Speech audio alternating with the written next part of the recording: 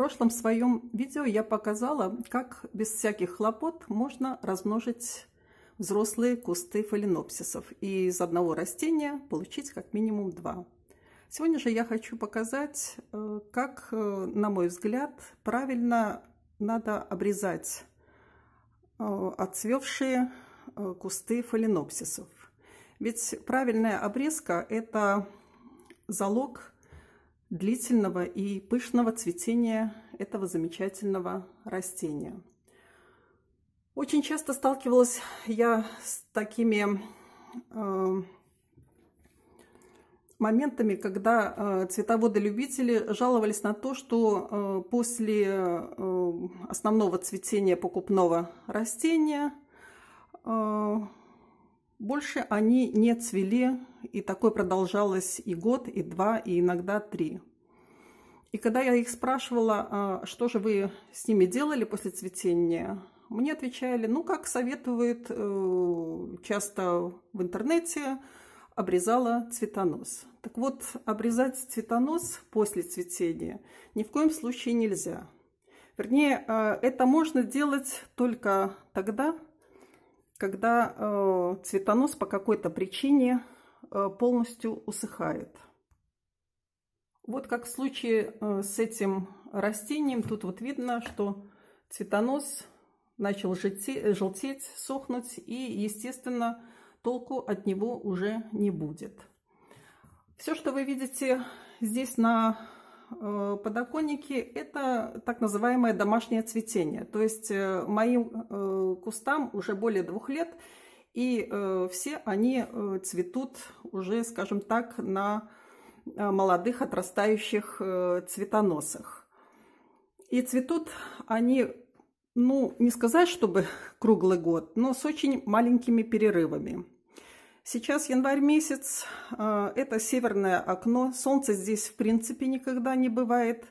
Никакого дополнительного увлажнения, опрыскивания я не провожу.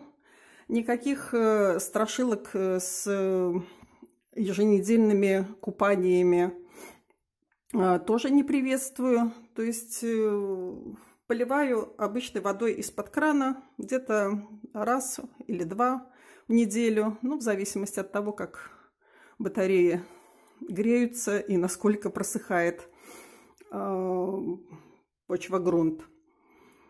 И, э, на мой взгляд, цветение ну, довольно-таки достойное.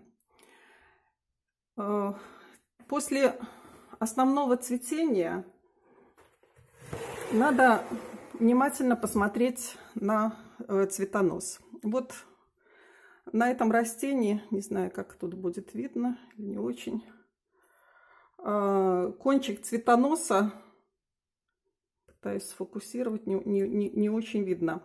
Кончик цветоноса э, довольно-таки еще э, упругый, и видно, что э, почечка как бы развивается. То есть вот такой цветонос полностью оставляется, и ждем дальнейшего развития вот этой вот краевой почки. На многих же э, других кустах э, часто вот эта вот э, крайняя э, почка, она мало развита или такая усыхающая, естественно, ее оставлять нет смысла. Здесь вот я вам хочу показать, насколько пышно э, ожидается цветение у моего куста после правильные обрезки. Здесь везде вот идут, э, собираются цвести побеги третьего, иногда и четвертого порядка. То есть э, это идут все ответвления от основного начального э, побега в сторону. Вот он идет один, потом вот второй побег зацветает. Здесь вот побег вообще третьего порядка от, как говорится, третье ответвление. Значит, что основное в обрезке?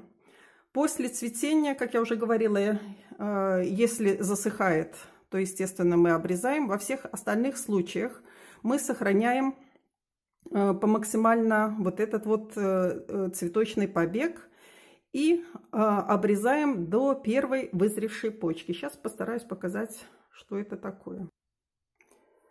Вот уже куст практически доцвел. Кончик здесь суховатый, то есть ждать его дальнейшего развития этого побега бессмысленно. И вот мы смотрим после э, э, вот этих вот всех мест, где были цветочки, вот расположена одна вегетативная почечка. Она уже довольно-таки вызревшая, потому что э, на ней чешуйка такая высохшая. Но бывают и э, невызревшие почки с зеленой чешуйкой, ничего страшного. То есть самое главное э, в обрезке это дойти до первой вегетативной почки. Вот как раз выше нее мы и резанем. Таким образом, у нас осталась вот эта почечка, и с нее мы будем ждать развития дальнейшего побега. В данном случае это уже будет побег третьего порядка. Вот он идет первый, вот это идет второй, и вот с этой почки пойдет новый цветонос. В таком виде э, растение постоит недельки 2-3, и если эта почка не тронется в рост, тогда я ее простимулирую цитокининовой пастой. Цитокининовая паста, э, вот такая вот, она, в принципе, продается практически во всех э, семенных отделах. Там ее надо буквально э, малюсенькая горошинка с размером с маковое зернышко. Снимается вот эта вот верхняя чешуйка и иголочкой сверху обрабатывается. И буквально э, за, э, через 7-10 дней начинается э, рост нового побега. Ну, как пишут в инструкции, э, это стимулирует именно развитие э, как бы э, дочерних розеток, но у меня за мои э, года увлечения фаленопсисами ни разу э, детка не образовалась, образуются исключительно новые э, цветочные побеги. Ну, в принципе, это и не так уж и плохо, потому что любоваться вот такой вот красотой, когда за окном серо, тоскливо, нету привычных нам летних красок, э, очень приятно и радостно.